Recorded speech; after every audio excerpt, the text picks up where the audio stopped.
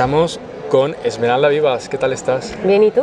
Muy bien, también. Muchas gracias por el tiempo. Gracias a ti. Eh, eres la programadora o una de las programadoras del Festival de Cine Internacional de Guadalajara. Así es, soy una de las directoras de programación. Somos un equipo de tres directores que nos enfocamos en diferentes secciones cada uno, pero así es. ¿Tú en qué sección estás? Yo me enfoco en lo que viene siendo animación, nuestra competencia. Este año también hice un poco del país invitado de honor. Eh, ¿Qué fue de qué país? Eh, Italia. Fuimos a Italia en nuestra edición 38. Fue la tercera vez que fue país invitado de honor. Eh, también cortometrajes iberoamericanos y un programa que tenemos de galas a beneficio. Y como mexicana, y yo te tendría que hacer la entrevista ahí, que es donde está pero como son mexicanos hacen mucho ruido y se están haciendo la, la fiesta. Está coctelito. Y nos hemos venido aquí para estar más tranquilos. Eh, ¿Primera vez en Annecy? Primera vez en Annecy, increíble. ¿Qué ves, qué ves mm, especial este año? Bueno, o sea, tener la oportunidad de, de conectar con tantas regiones que creo que en nuestro festival no es tan conocido por ejemplo, tuve la oportunidad de tener citas con países de África, también más, hacer más contacto con Asia y con diferentes escuelas que no estaban al tanto de nuestra convocatoria que tenemos. Creo que eso fue muy especial para nuestro festival y era uno, era uno de los objetivos de venir aquí. Pero también el ambiente de un festival enfocado exclusivamente en, en animación es increíble. Guadalajara, el festival que estás, ¿qué años lleva funcionando? Esta edición que acaba de terminar hace una semana fue la 38. La 38. Después de 38 años, ahí estáis. Ahí estamos. ¿Cómo empezó el Festival de Guadalajara? El festival empieza como una muestra de cine mexicano, todo impulsado por la Universidad de Guadalajara y por Raúl Padilla, que en paz descanse. Y después de varios años se convirtió ya en lo que viene siendo el Festival Internacional de Cine en Guadalajara. Y Padilla parece que es una figura muy importante, no solamente en el Festival de sí. Cine. ¿Por qué Padilla es tan importante? Porque Padilla, creo que todo nuestro equipo que tuvo la oportunidad de trabajar con él, para nosotros es un visionario de la cultura. E hizo mucho en cuestiones de, de cultura e infraestructura cultural en Guadalajara y en Jalisco. Eh, él impulsó programas, obviamente, en nuestro festival y también, por ejemplo, la Feria Internacional del Libro también fue uno de los de, las mentes que tuvo la visión de decir, podemos hacer una feria aquí y después convertirla en la segunda feria más importante del mundo. ¿no? También en cuestiones de infraestructura, creo que eh, los que vivimos en Guadalajara sabemos que no tendríamos muchos de los teatros, auditorios y espacios culturales si no fuera por la visión de Raúl Padilla. Y hemos visto que incluso Pixelatel estaba inicialmente en, otro, en otra región, en otro estado, y empezó en Guadalajara y se sienten muy a gusto si se quedan ahí. Parece claro. que puede ser el apoyo de, no sé si de las instituciones de Guadalajara, de Jalisco. ¿Existe ese apoyo y por qué existe ese apoyo tan, tan marcado a la cultura? Creo que ha sido como un poco un conjunto de situaciones eh, que han abierto ese espacio. ¿no? Ahorita se están haciendo más cuestiones con Film en Jalisco. Eh, tenemos apoyo también del gobierno estatal para nuestro festival y para otros proyectos como Pixelatel. Mm. Creo que es una comunidad audiovisual muy vibrante que en conjunto también, por ejemplo, con el taller del Chucho, que es algo que es un estudio de animación relativamente nuevo, que se hicieron cargo de la segunda unidad de Pinocho, se ha hecho un punto de reunión para artistas del audiovisual. La verdad es que se está haciendo un, una especie de hub cultural, sí. incluso yo creo que yo y más gente, pensamos que quizás Guillermo del Toro podría ser ese, ese, embajador. De hecho, es el, es el padrino del festival, si no me equivoco, del Festival de Guadalajara. Fue uno de los fundadores. Él bromeó mucho que en los primeros años realmente hacía de todo, ¿no? Que, de, que recogía los tickets, chofer y demás. Mexicano en Guadalajara es la, la plataforma más importante en todo el mundo al día de hoy para el cine mexicano. O sea, en Guadalajara se da cita distribuidores, gente de festivales, el público como nunca lo vas a ver en ningún otro lado. En cine internacional generalmente el público, eh, la de cine mexicano es solamente la ven si el teatro les queda cerca y, y está nevando.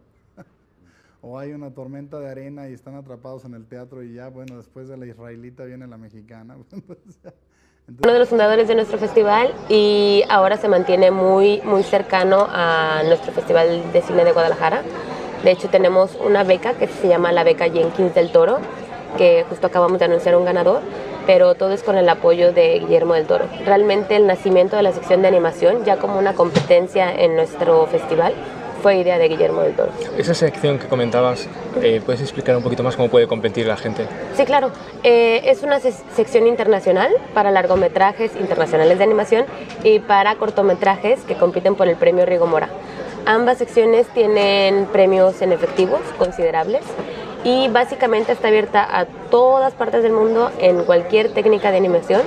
Lo que pedimos es el estreno mexicano y hay ciertos reglamentos de que el año de producción y demás. Eh, pueden checar todos los detalles en nuestro sitio web en noviembre que abre la convocatoria y nuestro festival, para quien no sepa, eh, el próximo año en 2024 será en junio. Bueno, este año acaba de terminar. Acaba de terminar, vamos Eh, llegando. ¿Qué tal las energías? De, porque cada uno empiezas otro. No, bien, bien. Creo que tener la oportunidad de venir a estos espacios nunca, nunca hay que darlo por sentado, ¿no? Y hay que tratar de disfrutar y sacar el mejor provecho de todo para uno mismo y para el festival. ¿Cómo fue esta edición eh, a nivel de afluencia de público? Increíble, creo que todos nos llevamos un buen, un buen sabor de boca porque aunque redujimos dos días de festival, tuvimos muchísima más afluencia en las proyecciones, en las masterclasses y creo que el sentimiento de todos los que estábamos ahí reunidos en todas las actividades fue muy bueno. Hemos tenido muy buen feedback de, de nuestros invitados. El ganador, bueno, hay muchos ganadores, pero ¿cuál fue el ganador, mm, vamos a llamar, de animación? Si es que De animación de largometraje ganó Chicken for Linda, que está aquí en competencia en NSI, y del premio Rigo Mora ganó el cortometraje Carne de Dios, de Patricio Plaza. que hemos tenido la oportunidad de, de entrevistar. Eh, aparte de esa sección de animación, ¿me nos puedes comentar las secciones en las que consiste el Festival de Guadalajara? Sí, tenemos muchísimas, somos un festival considerablemente grande.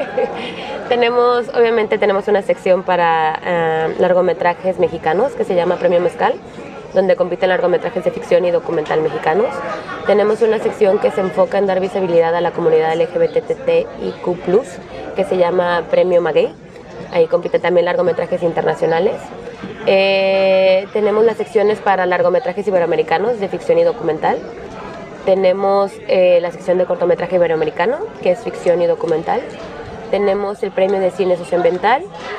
Y tenemos también una sección, obviamente, para nuestra comunidad, que es hecho en Jalisco, que está enfocada en largometrajes y cortometrajes de la región de Jalisco, del estado. Y pues las secciones que ya mencioné de animación. Además de esto, todas esas son competitivas. Además tenemos eh, el invitado de honor, siempre cada año tenemos una región o un país. Y tenemos panorama internacional para largometrajes de diferentes partes del mundo. Y se me está pasando alguna, son de cine, que es una colaboración con Inedit Barcelona. Y una pregunta, eh, este año el invitado de honor, ¿quién fue? Por- Italia. Italia, el país italiano. Ah, el país italiano. Sí, O sea, que invitaste películas, realizadores italianos, imagino. que- Sí, eh, básicamente la, con la, la participación de un invitado de honor en nuestro festival permea diferentes áreas. Permea en industria porque siempre tienen un stand, el stand principal en el mercado. Eh, permea en algunos programas de formación como el encuentro de coproducción y demás. En cuestiones de programación llevamos una muestra de largometrajes, cortometrajes. Este año hicimos algo especial que no habíamos hecho. Hicimos un foco en Dario Argento y hicimos Midnight Screenings. La gente le encantó, fue algo que estábamos como viendo si sí iba a ser bueno el horario, si nuestro público sí le va a aceptar. Fue un éxito, entonces creo que es algo que vamos a mantener para siguientes ediciones. Y obviamente se lleva, llega una delegación ya, de, ya sea de productores, de directores italianos y demás. Una pregunta que suelo hacer últimamente por la temática, eh, la realidad virtual, perdona, realidad virtual no, eso ya, eso ya es parte del pasado. Sí. La inteligencia artificial, eh, ¿tienes pensado hacer una sección, no aceptarlas, eh, aceptarlas como si fuera una película normal, eh, aceptar X porcentaje que se haya hecho en- con inteligencia artificial? ¿Tienes algo pensado? Todavía creo que es una conversación que está muy viva, que, y se ha hablado aquí, ha habido un par de paneles que tal vez es algo que necesita un poco más de regulación, de transparencia en decir que sí es eh, inteligencia artificial o no. Todavía creo que es un tema que tenemos pendiente en cuestión de convocatoria. Mm. Luego, el tema de eh, la unión entre festivales. Antiguamente, Toulouse, Cine Latino Toulouse, tenía relación pues, con San Sebastián, luego con, con Lima. Otros festivales tienen también relación con festivales del otro lado del charco, etc. ¿Vosotros tenéis algún acuerdo, algún...? Eh, como antes trabajábamos con el Festival de San Sebastián en Europa Nuevas Tendencias, después llegó la pandemia y tuvimos que parar un poco ese programa porque sí traíamos una, una colaboración directamente con el Festival de San Sebastián. Creo que estamos ya en pláticas como de retomarlo, esperemos que, que lo podamos hacer pronto. Y también obviamente con Canes tenemos participación en Fantastic Seven con, proyecto, con un proyecto que llevamos ahí y siempre estamos abiertos a, a trabajar con distintos festivales. Tenemos mucha presencia ahora sí que de festivales de, de Latinoamérica, por ejemplo, Sanfix siempre está presente en nuestro festival, entonces siempre estamos como abiertos a, diferentes colaboraciones. Hablando de colaboraciones con otros festivales latinoamericanos, en, el cine, ¿consideras que la producción entre países iberoamericanos puede ayudar a que luego la difusión pues llegue a más gente. Es decir, hacer una película de Chile que se muestre fácilmente pues en Argentina, en México, en España, o todavía la gente de otros países no acepta, aunque, tenga aunque se hable el mismo idioma, no acepta estas películas como propias. Pues nosotros como hemos trabajado tantos años con una sección iberoamericana, creo que sí hay una apertura a, a, las películas. También siento que ya tenemos cierta presencia en Iberoamérica, llamándose Portugal, España, que realmente recibimos muchísimas inscripciones cada año y también después vemos que lo que seleccionamos en Guadalajara después permea en ciertas partes de Europa. Entonces creo que sí es una cuestión de, de, que hay cierta apertura, pero también el mercado es grandísimo. Hay una oferta enorme.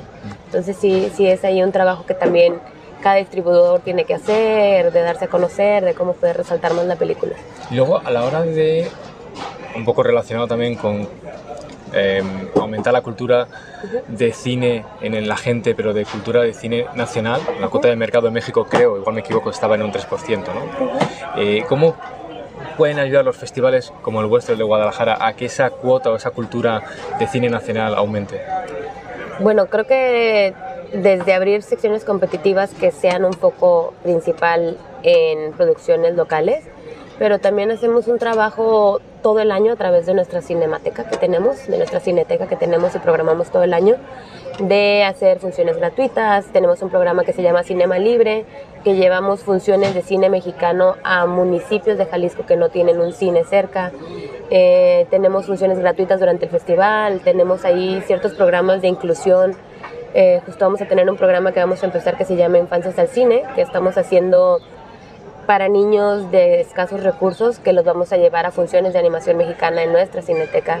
Entonces creo que un poco estamos permeando en nuestra comunidad, haciendo diferentes ahí trabajos de, pues, de acercamiento, de difusión y, y de facilitar el acceso también al cine.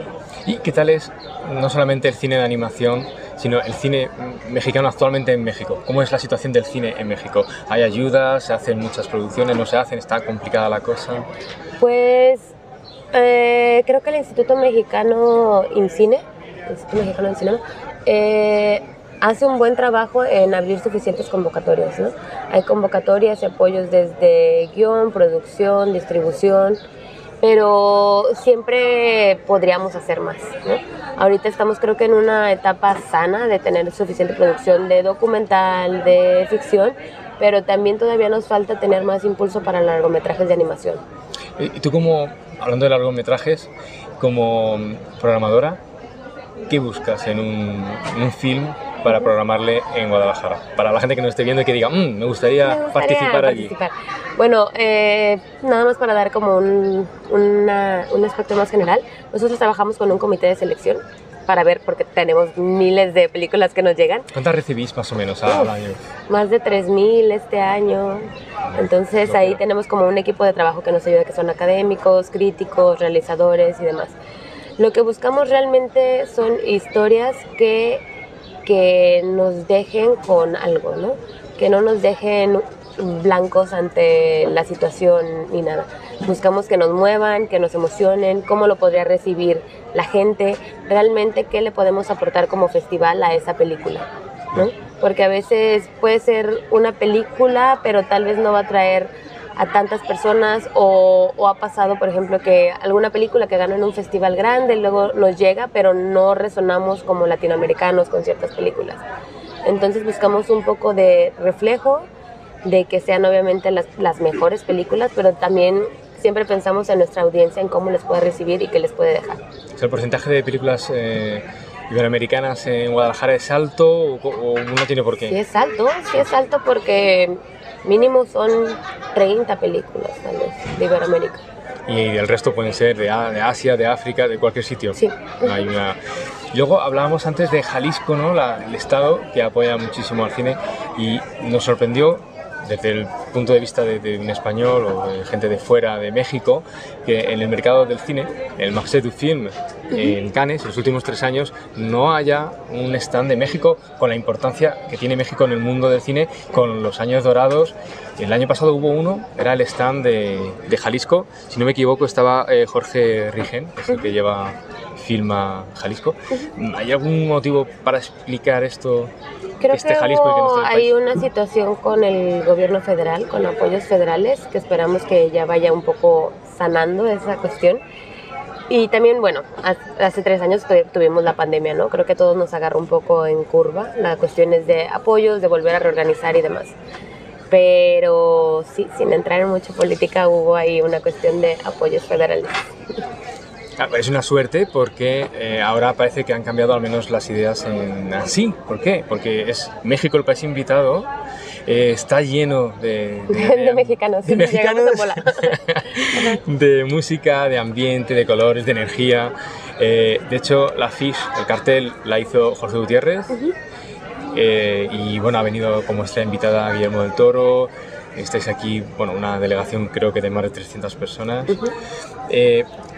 ¿Qué puede enseñar México o la animación mexicana o el cine mexicano en general a un país como Francia?